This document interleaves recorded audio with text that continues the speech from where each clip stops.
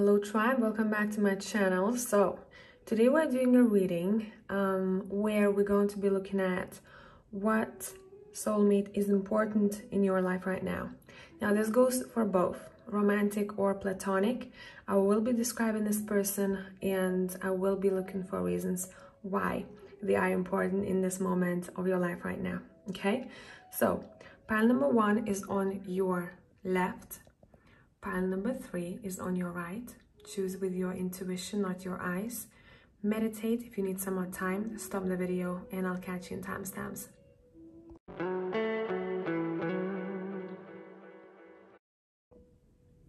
Hello people, whoever has chosen pile number one, let's see.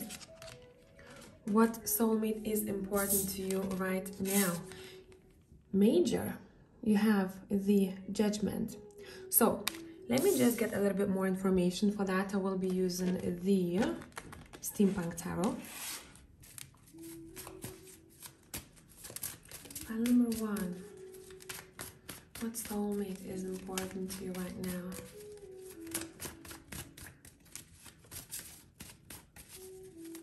Let's see who this is. So, pile number one, people, you have the Page of Swords, you have the Two of Swords, and you also have the page of wands. Okay let's see. Bottom of the deck we have judgment again. So this is very important. Anytime cards repeat itself in this manner it means that bish pay attention okay? So let's see.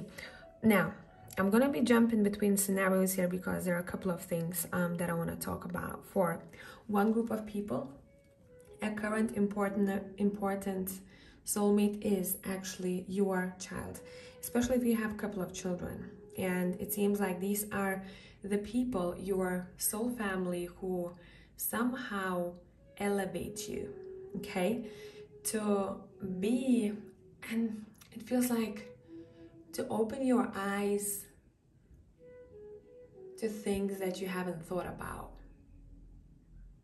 there's something quite different about them um, that you didn't think that you would have to encounter. And for a lot of you here, it feels like whoever this child is for you, wait, if you don't have children, I'm going to jump into the next scenario. Um, if you, sorry, there's a lot.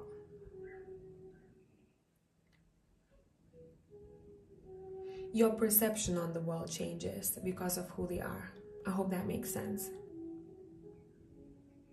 They also somehow make you feel that you want to tune in a little bit more to your heart space and your intuition. And for a lot of you also, um, it allowed you to connect to your feminine a little bit more.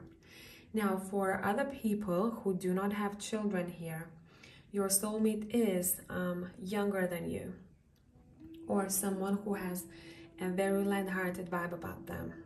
They could be around your age. For most of you, I really don't think that this is um, someone who's older than you. Yes, we're talking about the vibe, but intuitively, it feels like this is someone who is younger than you are. Let's see, what are they teaching you? And I'm going to be using the Tarot of the Angels.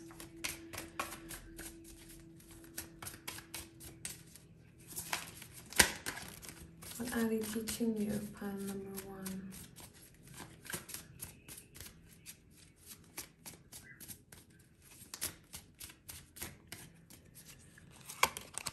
You have the Ten of Swords. You have the Four of Wands. You have the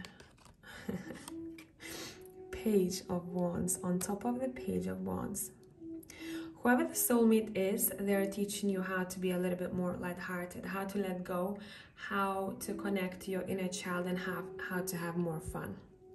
Now, when we're talking about lessons, some lessons might be joyful, some lessons can be actually difficult. You know, if someone triggers you in a way where you're like, damn, like I'm not, I'm not feeling my best, or I feel like I gotta, I gotta stop doing something, and that somehow shifts you in that kind of vibe of wanting to explore what's out there for you, wanting to look at life from the eyes of a child, which is a really nice, curious energy. This is not a childish energy. Um, this is literally someone who's opening their eyes to all the things that they haven't even looked at before. So that's important. For others of you, this soulmate also somehow influences your maybe uh, decision making when it comes to your home environment. Where do you feel like home? Where do you want to go? Who are you with? Does that person make you feel like home and secure and, and supported? All of those things. But it feels like it's more to do with location because I'm splitting the deck and we have Seven of Cups here. This is someone who's deciding what they want to do next regarding their home environment. Okay? Let's pull from the um, intuitive deck. Whoever is new to my channel, I read from abstract too. Let's see.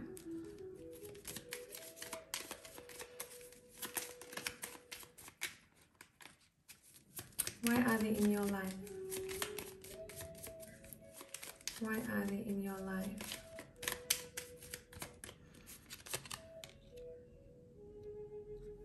Yeah, big time. You're learning from one another, and someone is younger here.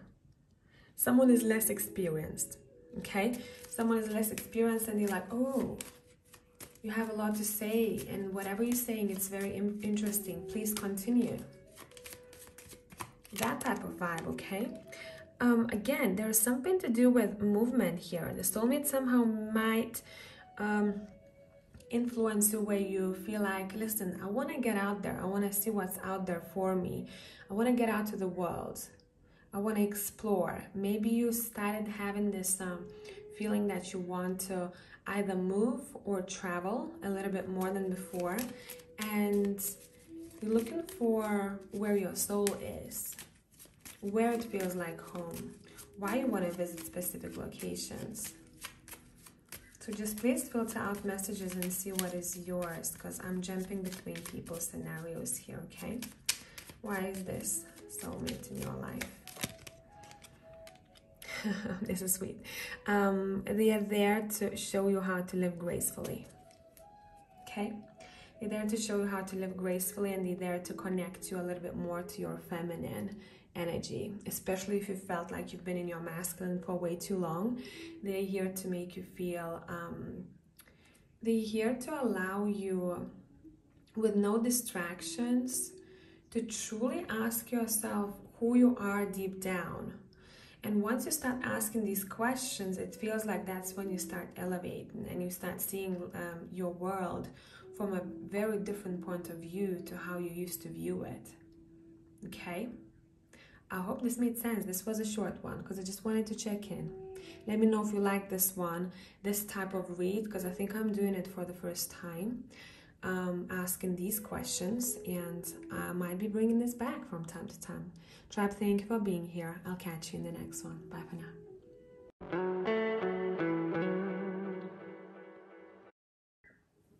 Hey, 2 people, let's see what is up with you all. Why is the soulmate in your life? Again, as I said in the intro, this could be romantic, this could be platonic. You have justice. Straight away when I see justice in this topic. Um, now, as you know, we have, as I like to call it, souls that are passengers, and we have this um, group of souls that we are making contracts with um, that are longer contracts, okay? So this person wouldn't wouldn't just, you know, come into your life and just leave and teach you a very quick lesson. This is more so a person who is part of your soul group, your soul tribe, your soul family, however you want to call this, and you probably will incarnate um, with them in the lives to come. You're just going to be switching roles, a bit like in acting, okay? So let's see what is up with this. And I'm going to be pulling from the Superlunaris deck for you all. Who is the soulmate, please?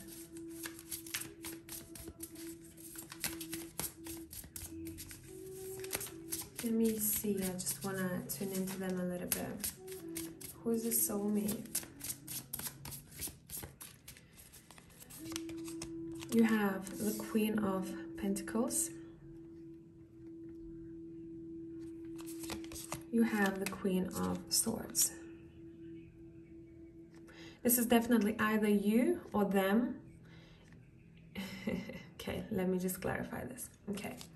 Um, bottom of the deck, sorry, one more card, the Wheel of Fortune. I told you this is this is a strong tie here.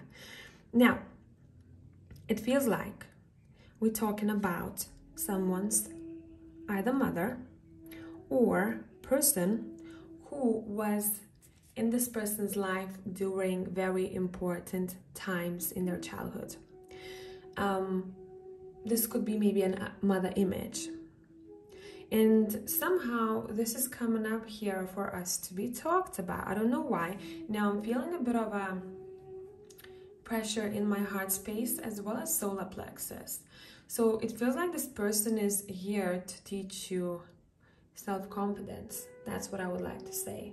To truly go for what your heart desires. And as I said in pile number one, sometimes these people teach us through love. Sometimes these people teach us through suffering, right? So no way stand with this. But just want to say, it feels like in the past life, you might have been this person's mother yourself, mother or father, that's for sure.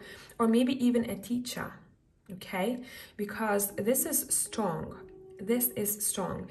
It's important to pay attention to what this person says um, because they teach not only with their actions, but they teach you with their words. Sometimes it might feel like their, those words are intense and somehow it's like the words have to cut through, you know?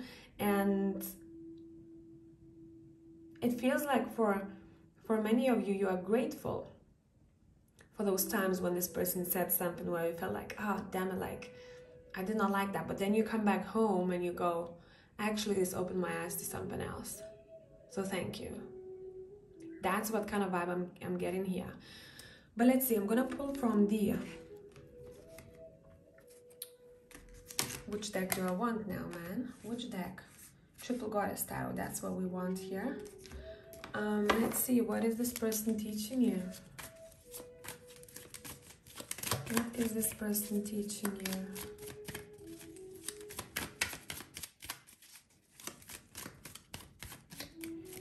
Let's see, guys, let's see.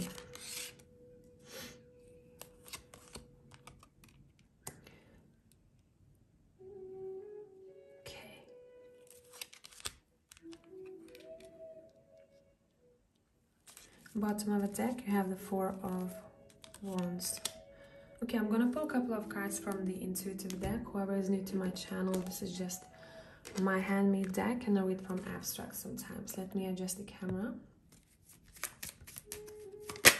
oh okay I told you, this person is teaching you self-confidence. This person is teaching you how to take control of your life.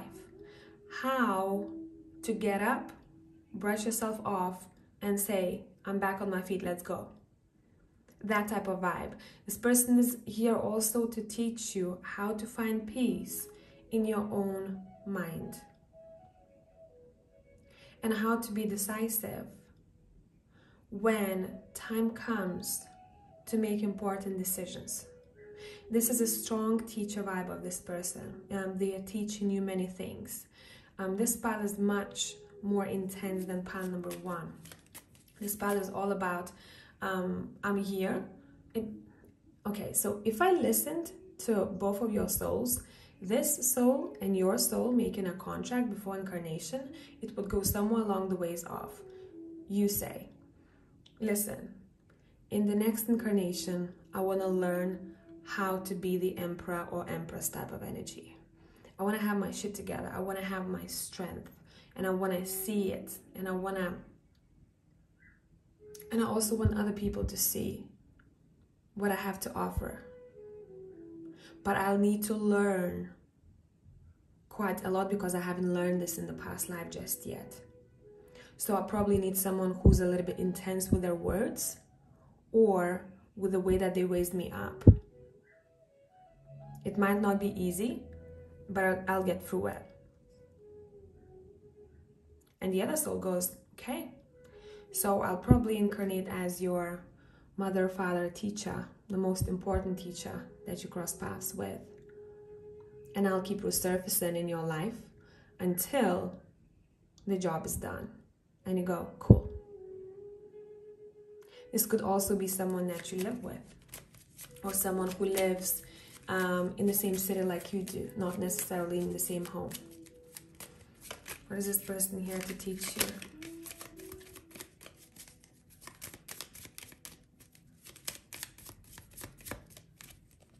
How to stand up, stand up for yourself. That's what they're here to teach you.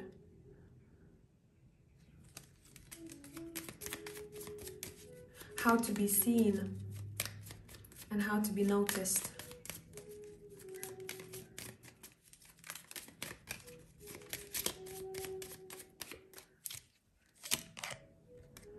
and how to see, hear, or feel the signs that are coming from above. Somehow, this person might have pushed you to be a little bit more in tune with yourself, to also protect your energy, and to honor yourself as a temple. How to avoid gossip or how to avoid negative talk, continuous negative talk okay? It's a pattern of some sorts. How to deal with that, to understand where it's coming from. So that was a short check-in, pile number two. Um, I might do more of these readings. Sorry, I don't know why we have an ad here. Um, I might do more of these readings. Um, I might bring it back. Let me know if you like this type of format because I don't think I've asked questions like that in my previous readings and I kind of like this one. So I'll catch you in the next one. Bye for now. Hey, pile number three people. So let's see. What is up?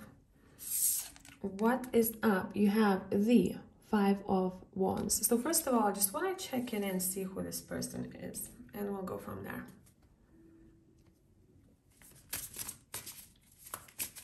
Okay. Who's this person? Pile number three. Did I say pile number one? Or did it just come through in my mind? I don't know. I'm tripping, guys. in case I did. This is pile number three. Okay. Who is this person? You have temperance. You have the, I just want to put it here, the devil. And you have the knight of pentacles. Okay. Whoever the soulmate is, would it be platonic? Would it be romantic? Um, this person, okay, the next card we have is a Nine of Swords. This is an interesting scenario. It's, uh, it's quite different from the other ones. This person is here, Seven of Cups at the bottom. I had it in every pile, okay? That's why it's interesting. I had it in every pile. This person is someone who tests your patience. And this person is here. Yeah, we split the deck. We have a tower to kind of um, shake things up a little bit for you. Yeah, you might not like it, but I'm sorry. Uh, let me get comfortable here. But um, they are here to literally test your patience and to see when you will wake up. Because for some of you, this might be very, very confusing. You might be asking a lot of questions. Why this? Why that? I don't understand that. You might be even seeing signs. It's saying it's about your growth.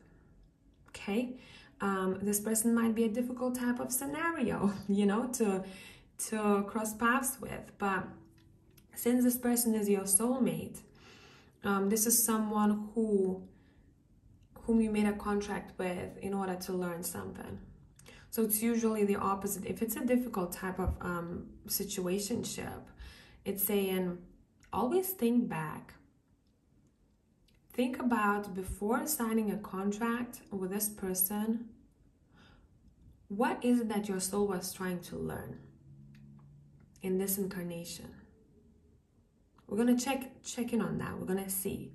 But for example, if you didn't get enough uh, love um, from that person, you're probably learning how to love yourself first. um, that's why they're there, right? Um, if you feel like you are quite codependent, or that person is, or there was some kind of bad habits included in that um, relationship, you're probably learning how to cleanse yourself as well as how to find better ways of doing things and how to be a little bit more detached, but in a good way, not completely, right? In a balanced way. Um, let's see, this is quite an interesting one. This is quite an interesting one. Sometimes this person might even trigger you um, without really doing anything.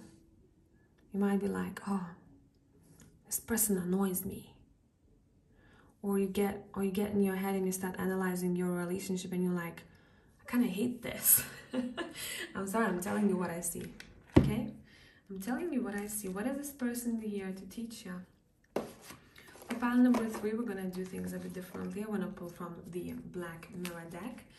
And let's read from the book shall we? What is this person teaching you pile number three? Oh the card flew. Let me just pick it up. Let me just pick it up. Naked Before the Stars. I do love this card. All right, one more. Which deck we're using?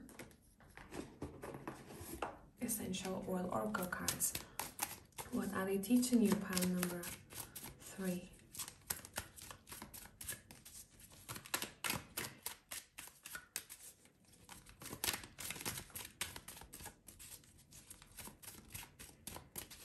you know, we're talking about soulmates. And this, you you all know how it works, right? Uh, how spirit um, soul contracts work. But um, in this case, I want to say that for some of you, this could be a passenger type of soul. The one who kind of comes in, shake things up, and then they leave. But maybe there is going to be an extended time of learning so it's not a quick thing. Maybe something might resurface again. You know, maybe you know each other for a long time, that type of thing. Um, I'm just saying that because for other pile, I had this feeling where those people could not. I mean, they could, but it was more like you're gonna be around me anyways because you're like part of the uh, main soul group where here i feel like this person could be a passenger type of soul okay so just to let you know they might not need um, to be in your life forever or resurface from time to time okay so that I don't confuse you. You know, sometimes you have a topic, but cards show whatever needs to be shown, so I can't really control it. Okay, what are they here to teach you?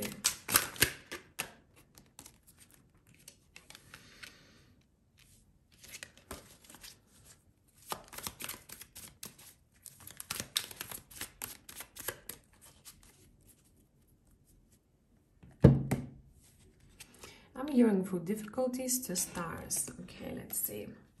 So the first card you have is called Destiny. Trigger statement says, I am lost. True statement says, I do what I love. There is a path waiting just for you open, just for, for you, yeah. Open your heart and mind so you can use it on your journey to fulfillment. See, there is something that this person is not giving you that you truly need and that's when you shift things around you're like i'm, I'm actually i'm not lost i do what i love what do i love and then you start asking questions this is this is self-confidence. This is what your heart wants. The next card you have is comfort. People cannot be trusted as trigger statement. True statement says i trust my heart. Your big beautiful heart is ready to open trust that you will be able to discern who is best to walk with you so I do think that this person might not have been the best to walk with. Or they might have at the very beginning, but suddenly things shifted and you're like, hmm, maybe I need to have a better discernment here. You know, maybe I need to listen to my heart because I feel like my heart already told me something about this situation, part of the learning process. Purification card says, trigger statement, their opinion matters to me. True statement says, I see things in a new way.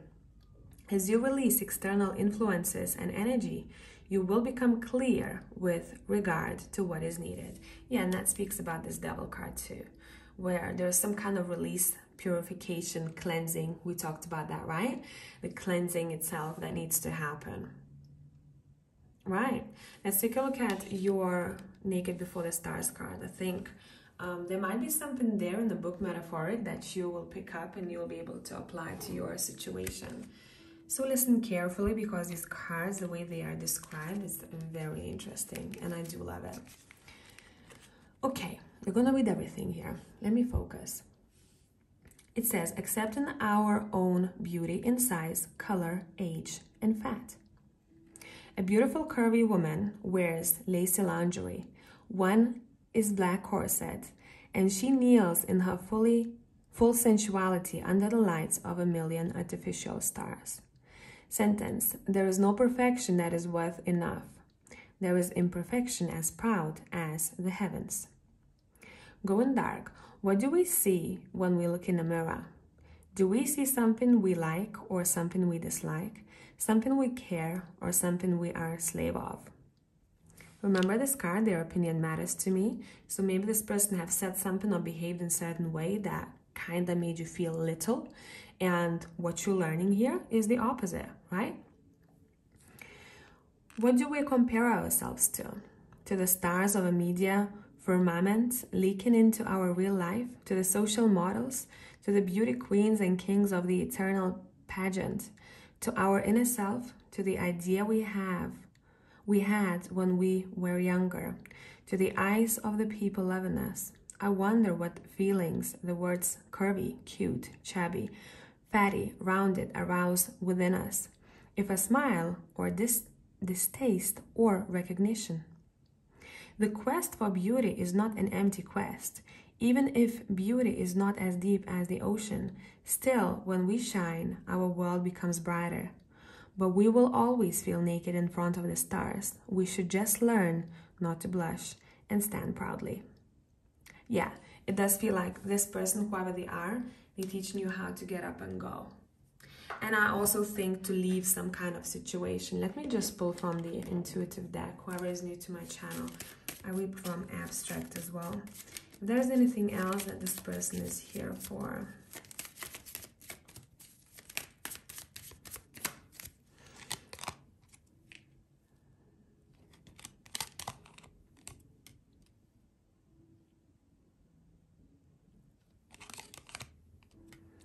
They're also here to show you that you're not walking alone. What I mean by that, it feels quite spiritual. So, that you're not on your own. So, for example, if you encounter this person and you felt like you had um, quite a lot of disappointments in this situationship, relation, whatever this is, um, I feel like after some time you might have noticed how you were receiving signs that you're not not alone that you are stepping into where you belong once you let go of certain behavior um, that this person might have brought out of you or the triggers you were getting by the way that they behaved.